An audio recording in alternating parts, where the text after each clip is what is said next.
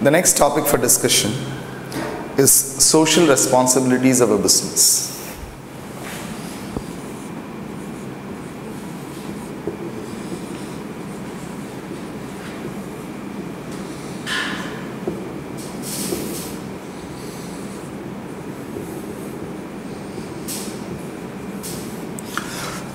Now, a business has got responsibilities towards various sections of the society.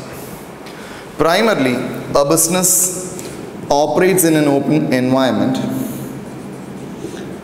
and hence it has got responsibilities towards its customers,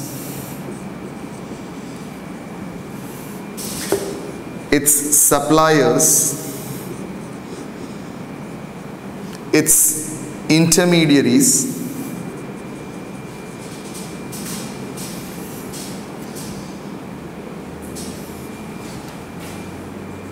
to the government agencies.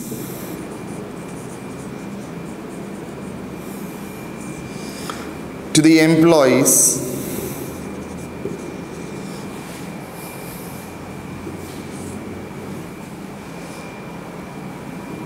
To the banks and financial institutions.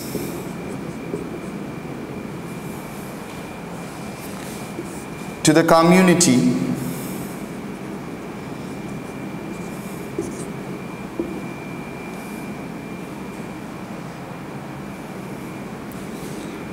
and to the shareholders.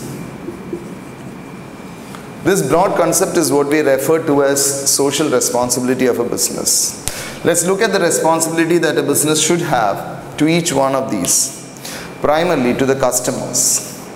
Now, the business has a responsibility to give the customers a good product, that is a quality product at a right price, make it available at their doorstep. So, obviously, the business has got a responsibility to the customers by way of providing quality products at the right price, at the right place, at the right time.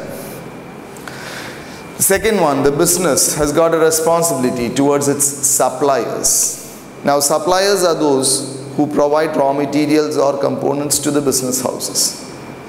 Now, in fact, the prompt payment is one responsibility of a business.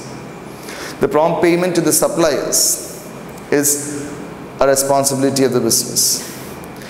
In fact, suppliers must be even given information prior so that the suppliers can plan their supplies. In fact, it helps in reducing their costs. In a way, when their costs are reduced, the business can reduce its operation costs. The business has got a responsibility towards its intermediaries. Now, intermediaries are all those middlemen who come in between the business and the customers. So, we have got agents, wholesalers, retailers, and so on. Now, a business has got responsibilities towards wholesalers. It has to provide products, support to the wholesalers. Again, the business has got a large responsibility towards retailers because they are the face of the business and they are the contact point with the customers. So, obviously, large part of communication from the business to the customers happens through the retailers. So, support to the retailers, good margins, good conditions, good products are again a responsibility of a business towards the intermediaries. The next one, the government agencies. Now, every business or organization has to obey certain rules and regulations, has to follow certain governmental regulations. Now, there are government agencies which are controlling the firm, or rather, which are monitoring the firm. Now, these government agencies, they must be satisfied. In fact, the business has got a responsibility by way of payment of taxes, payment of uh, other tariffs, uh, obedience to rules and regulations. All these things are again the responsibility which a business shows to the government agencies. A business again has got a huge responsibility towards the employees.